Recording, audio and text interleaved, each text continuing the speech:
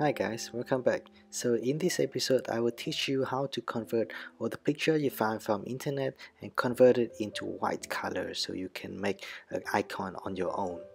So I just drag a, a picture of a temperature I found on internet.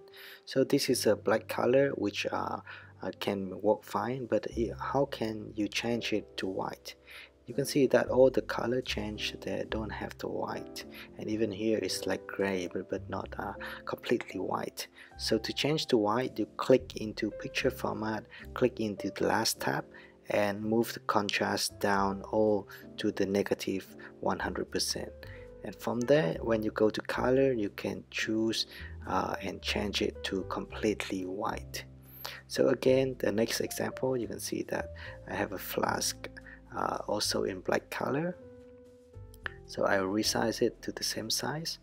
And then you can see I click in picture format and go to format pane and then I move it to the last tab. And from here I move the contrast all the way down. And when I click into color and I change it it will change to completely white. So the white is a very neutral color. I can use it for many uh, design to make my own uh, icon for example. And personally I think that using icon is a very great way to make your presentation look very professional very clean and minimalistic. And convert all the picture from internet to white is the first step to make an icon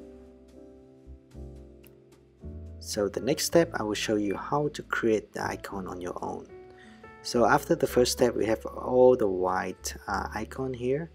So uh, very simple you can choose a circle and draw a circle by holding shift and uh, expanding it and right click to uh, send it to back and you see you can have uh, the uh, logo and also the circle around it and uh, uh, I will group uh, this circle and the icon together. And then I will resize it down. And just like that I will add the circle uh, to the rest of the icon. So I will fast forward here and you can see that uh, you can make all the icon in the center of the circle very quickly and from here I will align all the circle by choosing all choose arrange and align middle. And align I choose distribute horizontally. So it will distribute horizontally. So I will change the background to white which is my favorite.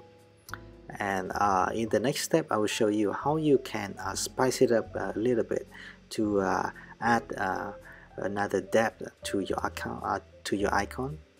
Uh, by clicking uh, in the uh, circle you can choose a gradient fill.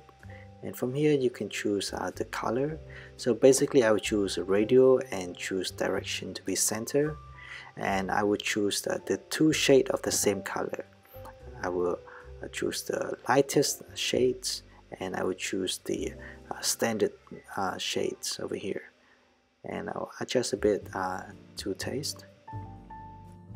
And I can copy the gradient format by using the format pane tool. And uh, now I can change a different color. Uh, just uh, be creative with the color uh, you want. And if you need more help on color just watch my lesson on uh, color theory. So uh, I will fast forward here while I change the color of all the icon just uh, ungroup the uh, circle with the icon and then you can change the uh, color of the circle.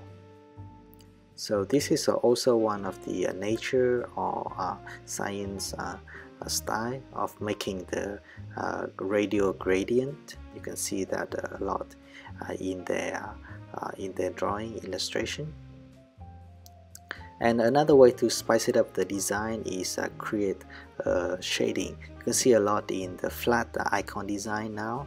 They have a circle and they have a two shades of the same uh, circle.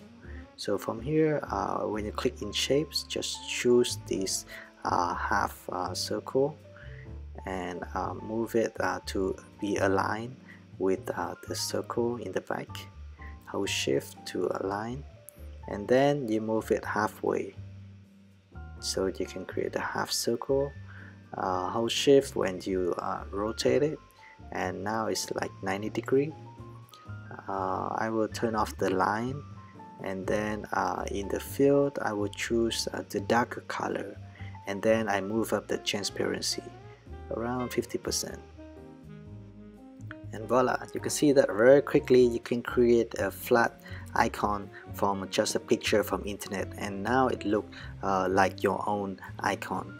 And you can have the file so you don't uh, scare of the copyright issue. And from here uh, you can uh, save each of these uh, icon into the picture so you can use uh, in any uh, future presentation. So uh, thank you very much for watching and see you in the next lecture